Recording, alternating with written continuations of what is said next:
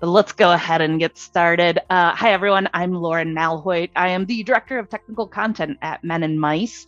Um, I'll be taking you through this live demo today. Uh, please feel free. I think I've unmuted everyone. Um, maybe missed some of the latecomers, but feel free to use the Q and A panel or just verbally jump in and interrupt me at any time with any questions. Uh, very informal. Uh, I just want to make sure you see what you, what you want to see.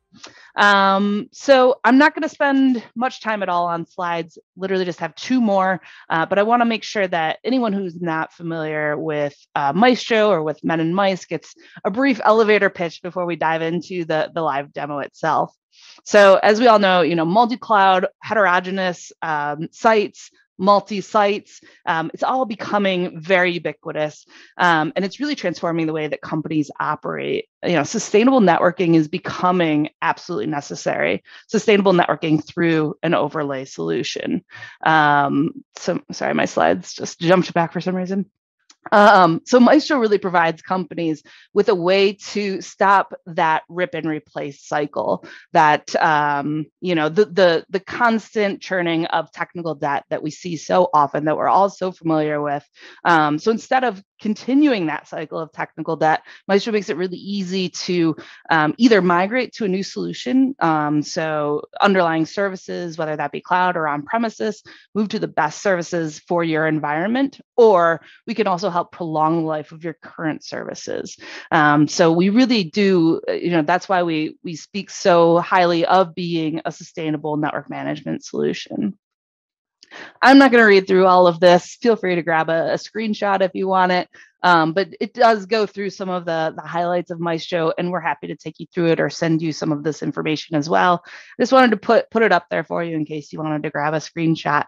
Um, with that, I will try to remember to pop this Q&A information, the contact information up at the end. Um, feel free to reach out to me anytime if we don't get to your questions or if you think of some more. But let's go ahead and get to the demo, which is what you're really all here for. Uh, let me just pop this up. Okay. Uh, actually, let me go ahead and make this full screen so it's a little more pleasant for you.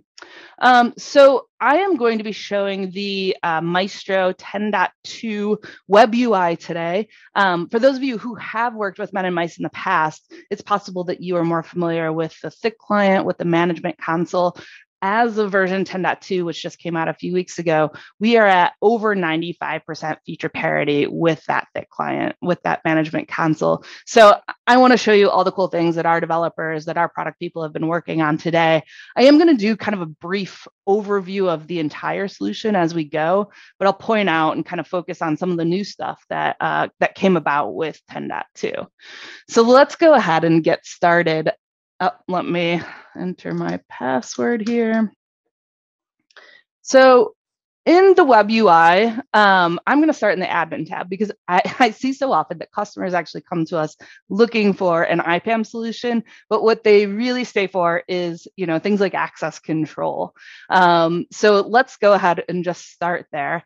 Um, with access control, Micetro is a pure role-based access control um, model. So in 10.1, we actually we could always do RBAC, but now we've created a, a, pure RBAC solution so that it's simpler to manage, it's actually more secure, and so you don't have like 10,000 different permissions that you're trying to manage, um, which we all know can sometimes lead to things being less secure than they were maybe to begin with. So now you can't assign permissions directly to users and groups. What you're going to do is assign users and groups to, to roles, to permissions. And those users and groups can be created within Micetro or built based on what you already have um, in Active Directory or in your LDAP systems.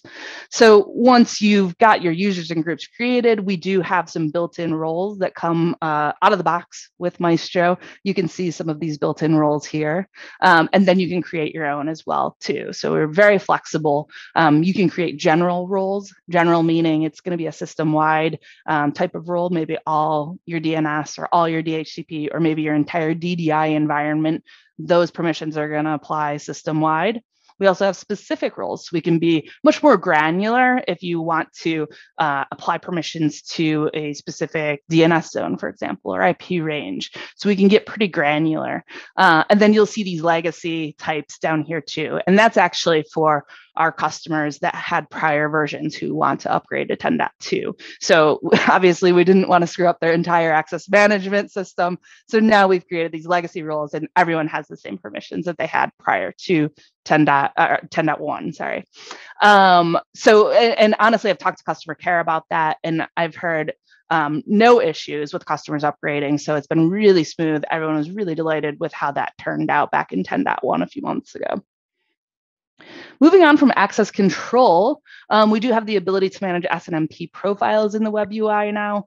Um, I'm not going to go through this because it was, again, just 10.1. So there is an on-demand webinar out there. Feel free to ask questions if you want me to go deeper into SNMP profiles, but I'm just going to point out that they were there. The same with licensing.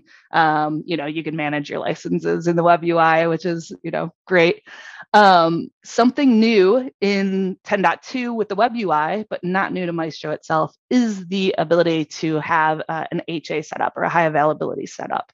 So this references actually uh, Micetro Central or the brains of Micetro.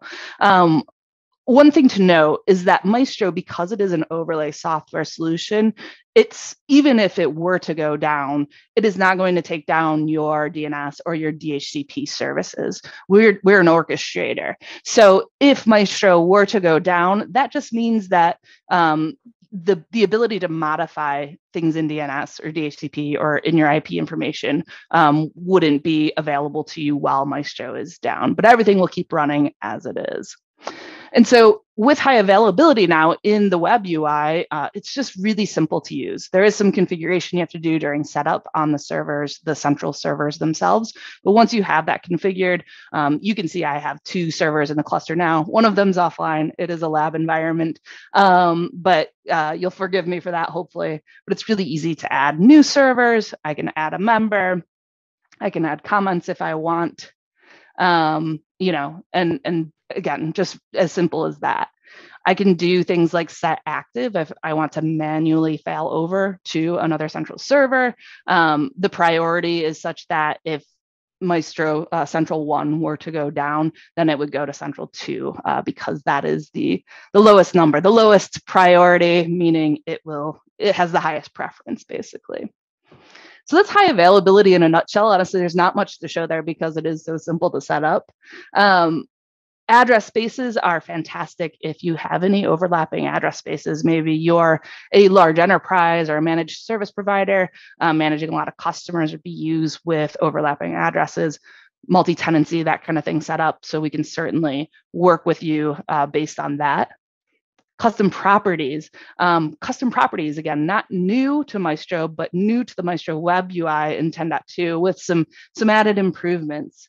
So I'm going to show you real quick what I mean by custom properties, and then we'll hop back and I'll show you, uh, we'll do a deeper dive into them. But custom properties are these, these column headers up here under the IPAM, under DNS. We do have the ability to create these, these column headers. And to give you a view of what they look like, uh, let's go to IPAM. We can show you some more. Um, this is what they look like in uh, in IPAM in DNS. You can rearrange them, show what you know from left to right, what you want to concentrate on. You can tick or untick so, so that you can see or not see them.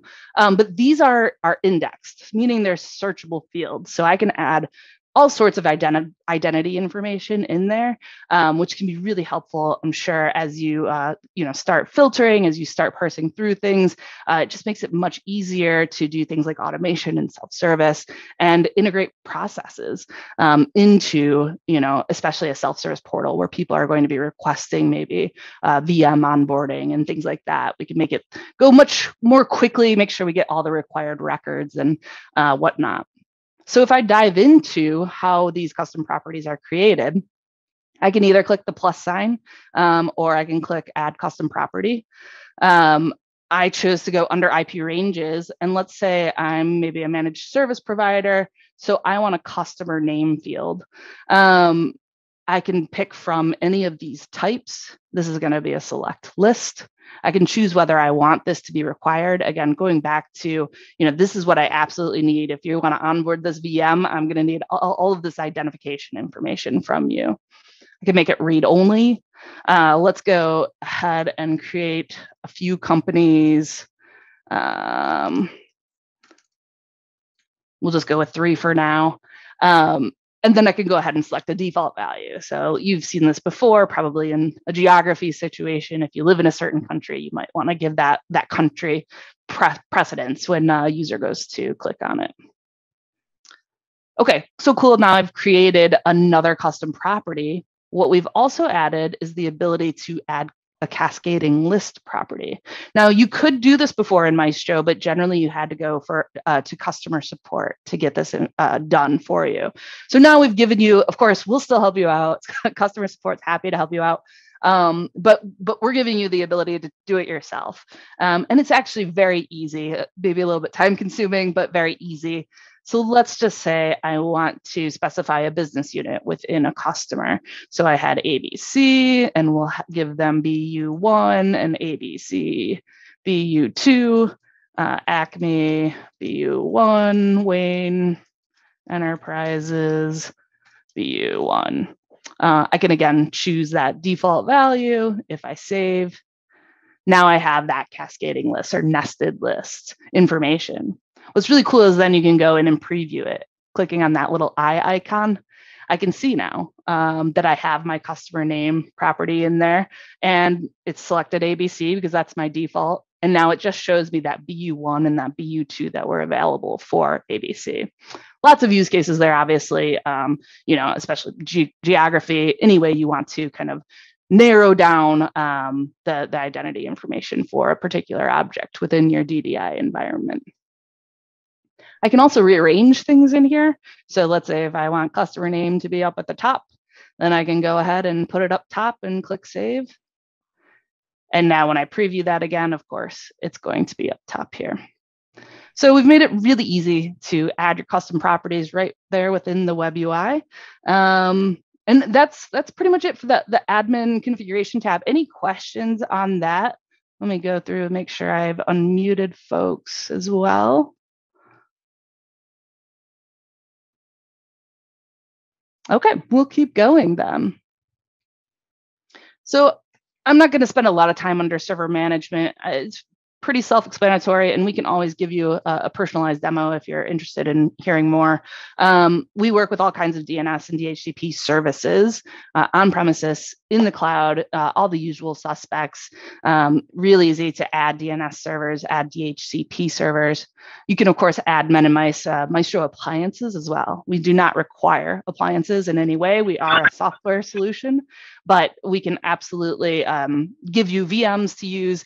And you know, if, if you're looking for maybe a small branch that needs its own DNS appliance, or uh, you're a, you're an SMB kind of company, you know, we can help you out there as well. Let's jump over to IPAM. And we'll click on that left menu there. So under IPAM, we obviously work with IPv6 and IPv4. Um, on the left menu here, you'll see just different ways to filter out all of the data so that it's just much easy, much more easy to get to things. So here I can see all my networks, I can, you know, give it a flat view. I can give it a nested view so that I can see things like CIDR boundaries, um, all sorts of ways to parse through the information. I do want to point out this recently created, recently modified filter. Um, I just love those two things because it seems so simple, but if something's gone wrong in your network, if something's down, um, the likelihood is something just changed. so if you go check out what's been recently created and what's been recently modified, that could possibly give you a really good uh, clue of what's been happening lately in your environment um, and, and let you know what's changed. So we do also offer this view history for pretty much every object within Micetro. Um, you know, I can see who changed it, when it was changed, the description of the change, and if they so choose to put in a comment there. Um, that's not a, a hugely interesting history, but you can imagine how helpful that would be in a troubleshooting situation. Let's go back to uh, Actually, let me show you.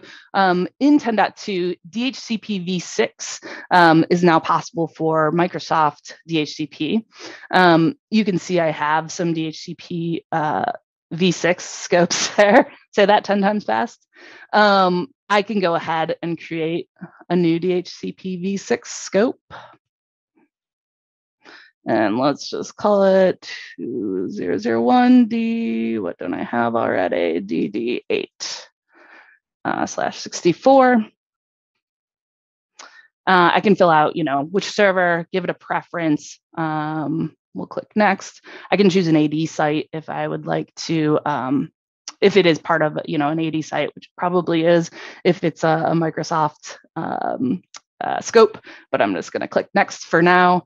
Um, if I were to click next here, you can see all of the, the fields that are required. Again, going back to properties um, test scope.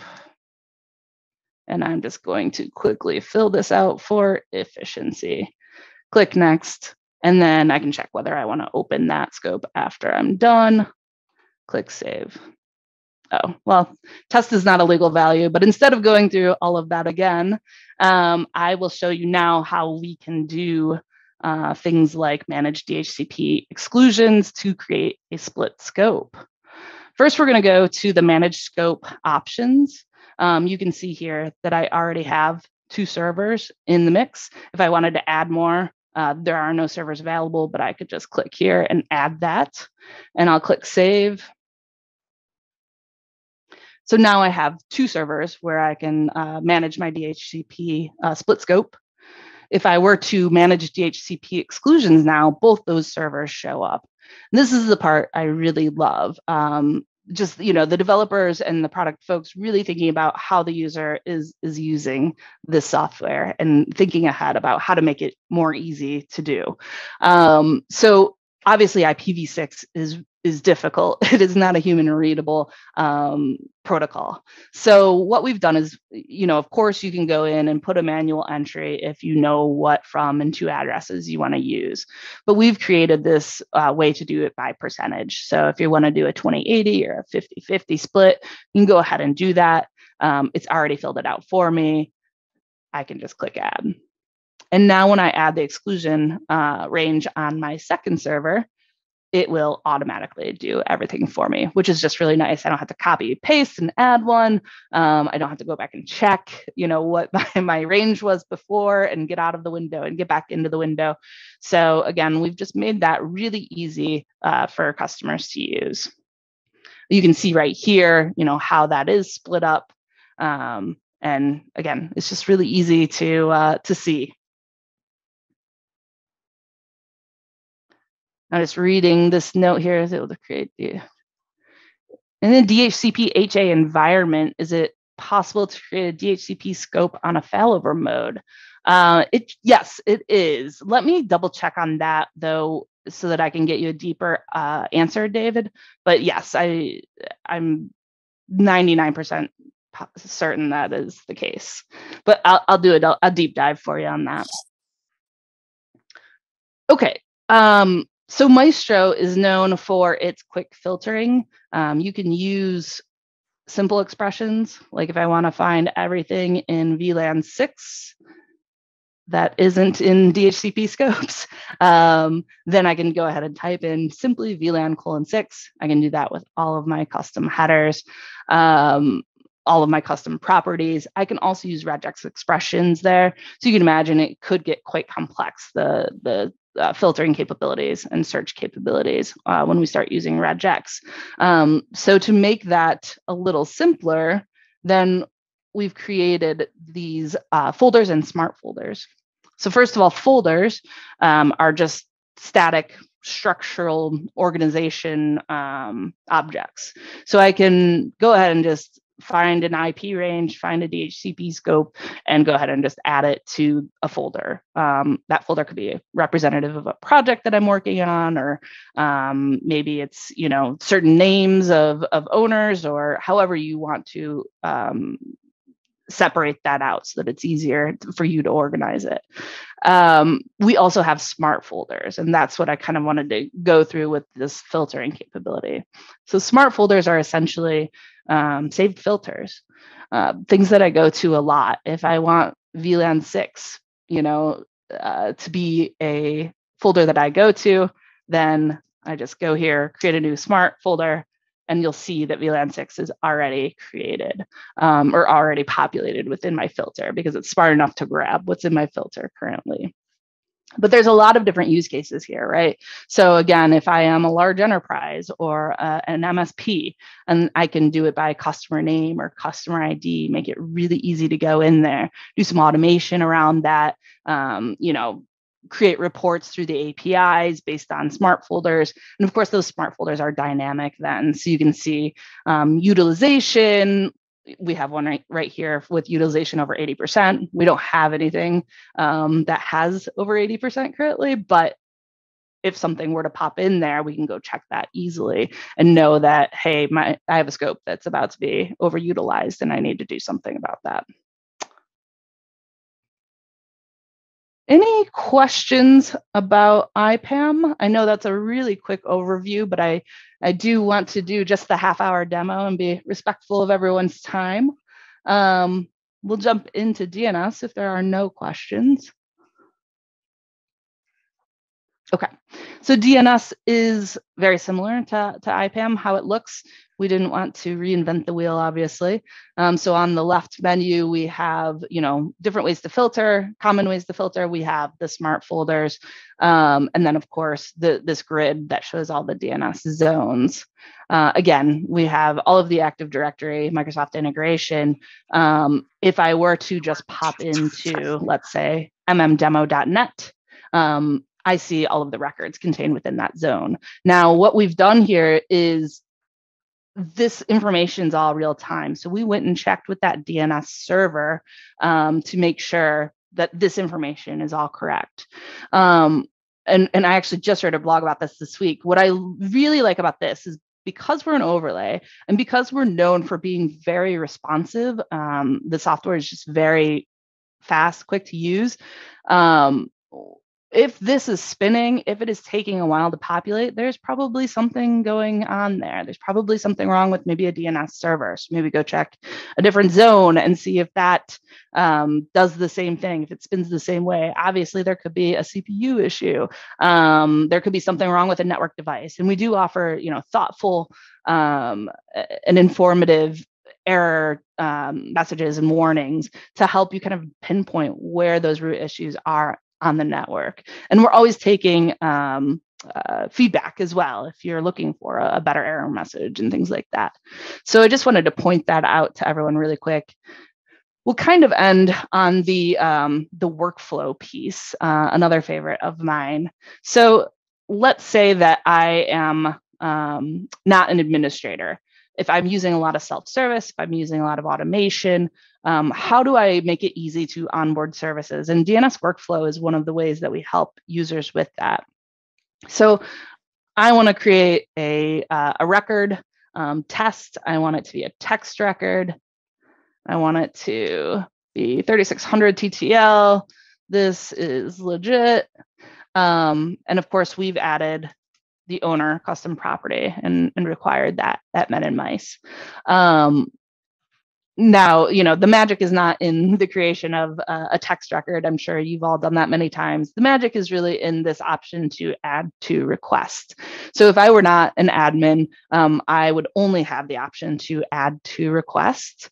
Um, meaning um, i wouldn't be able to create it now. So when i click that add to request it goes to my shopping cart I could add several more things to my shopping cart right now. Um, be warned that if if one of these gets denied, they'll all get denied. So we recommend doing it on a, a per project basis. Um, but anyway, once uh, you've got your shopping cart filled, you go to next. You can schedule the request for a certain date or a certain change management window, um, do all of those things, and then click submit. Um, once. I'm not going, so uh, because I am an admin, it gives me the option to just go ahead and approve it. But I'm not going to do that right now. I'm going to go ahead and click on workflow. And this is where the approvers will then come to make sure uh, there's nothing in the, the queue here. If there are things in the queue, and we do have a few things, then they'll go ahead and read through them. You know, why, why do we need this? Who's it for? Blah, blah, blah. Um, and then we can go ahead and reject or approve. Uh, again, these can all be scheduled. Um, obviously, you're going to do a lot of uh, these kinds of changes during a change management window. So it makes it really easy to, again, offer that self service um, and make it, um, you know, make it work with what your change management schedule is. Uh, we do have a few questions. Will you offer the ability to automate provision more than 256 networks via the web UI in the future? Ooh, Brent, that is a great question that I will have to get back to you on uh, for, for the specific numbers. Um, but we'll take that down. Thank you.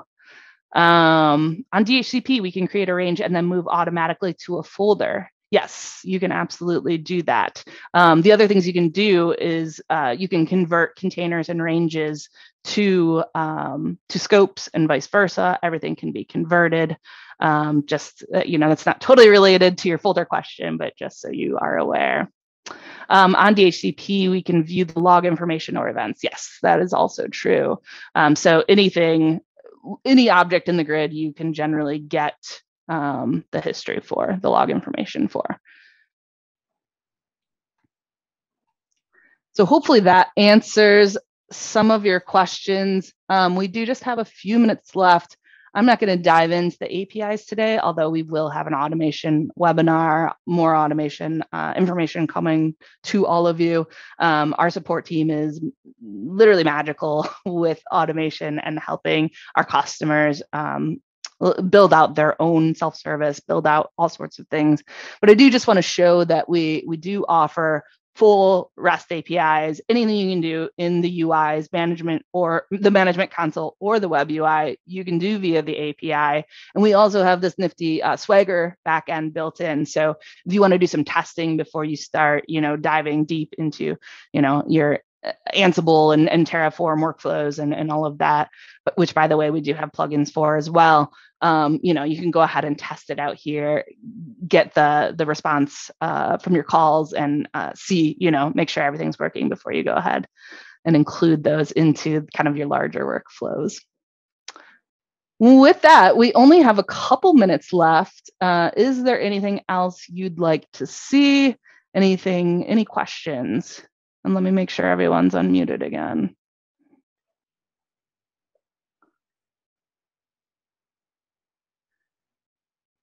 Okay, awesome. Yeah, we will absolutely do some more on automation, David. We have uh, it's in the works. Let me just say that. So just uh, just give me a few weeks, and and we'll get some more out there. We do have a GitHub site, um, by the way, for those of you, especially if you're trying to learn about GitHub um, our documentation is open to everyone.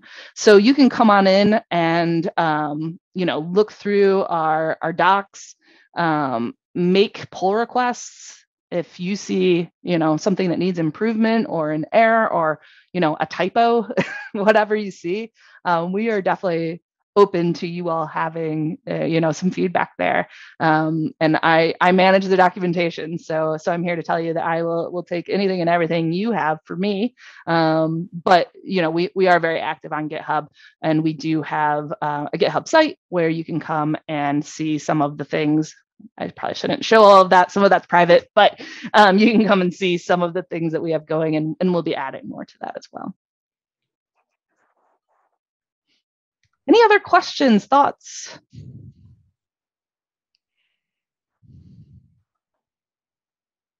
All right, well, we are at the half hour mark. Oh, and like I said, I would pop this back up. Um, if you do think of anything, please reach out. Um, I will get the answers to your chat questions as well uh, to make sure that you have all the information you need. And with that, uh, I appreciate everyone joining, and I hope you have a wonderful rest of your Thursday.